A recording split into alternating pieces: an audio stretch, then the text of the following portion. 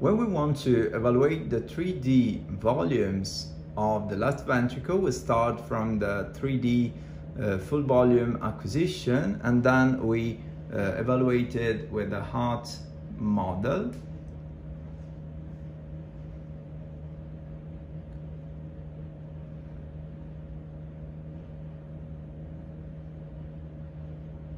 So after that, we should edit a little bit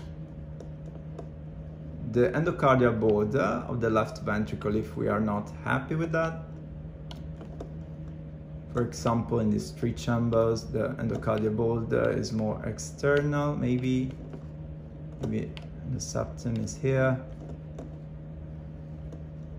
Quite happy with that.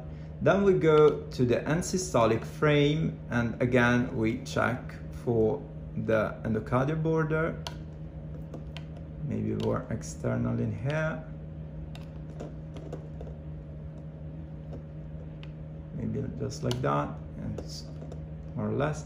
Then we accept the the tracing and we will have the model the heart model which is here and we will have the left ventricle and the left atrium and in particular for the left ventricle on the right, we can see that there is an end diastolic volume of 169 milliliters, an end systolic volume of 62 milliliters, and a, an ejection fraction of 63% with a stroke volume of 107 milliliters.